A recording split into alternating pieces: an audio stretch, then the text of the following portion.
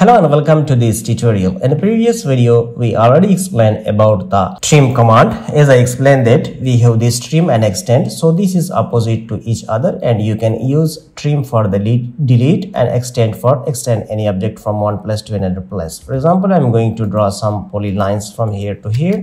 This is our polylines. Okay. And I'm going to draw some polylines here vertically.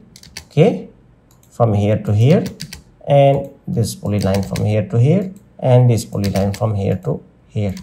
So now if i'm going to extend this line to this line so how i can do that? Then i can go to this option from here. I can just select the extend one time and then i can press enter or space from our keyboards. Then you can just easily extend these lines like this way okay?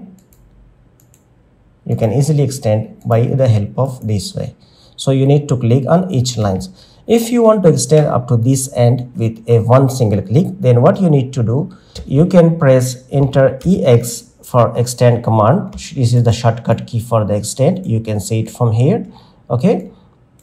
Ex and once you click ex then you need to enter one time space or enter. Then you need to select the baseline. Okay. And then you need to enter click enter then you can see that its line will be extend up to end. You don't need to click two three four clicks. So by the help of one click it can be extendable from here to here.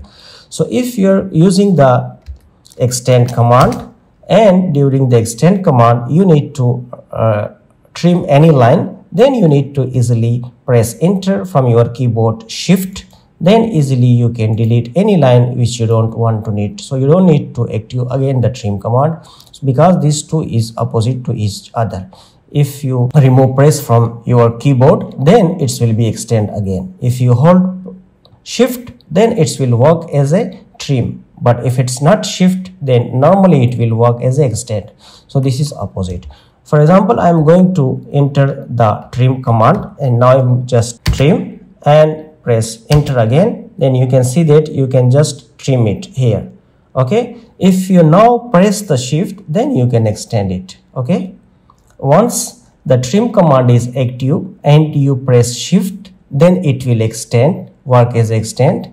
And once the extend command is active and you press shift it will give you work as a trim. So this is opposite to each other and easily you can use it by the help of these options. So we will see in the next tutorial. Goodbye and take care.